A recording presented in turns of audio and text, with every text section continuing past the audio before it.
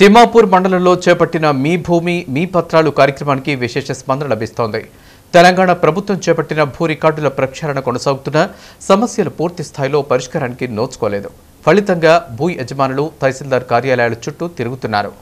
Court కేసులు లేని భూ యజమానులకు వంద శాతం పట్ట పాస్ పుస్తకాలను ఇచ్చేందుకు చర్యలు చేపట్టారు. ఇందులో భాగంగానే మీ భూమి మీ పత్రాలు కార్యక్రమాన్ని చేపట్టారు. రోజుకో గ్రామం చొప్పున భూ సమస్యలపై ఫిర్యాదులు స్వీకరిస్తున్నారు. కొన్నింటిని తక్షణమే పరిష్కరిస్తున్నా మరికొన్నింటిని మోకా పరిశీలన సర్వే విచారణ చేస్తామని అధికారులు బదులిస్తున్నారు. అయితే నుస్లాపూర్కు చెందిన వికలాంగురాలు తనకు చెందిన భూ సమస్యపై తహసీల్దార్ని కలిసి పరిస్థితిని వివరించింది.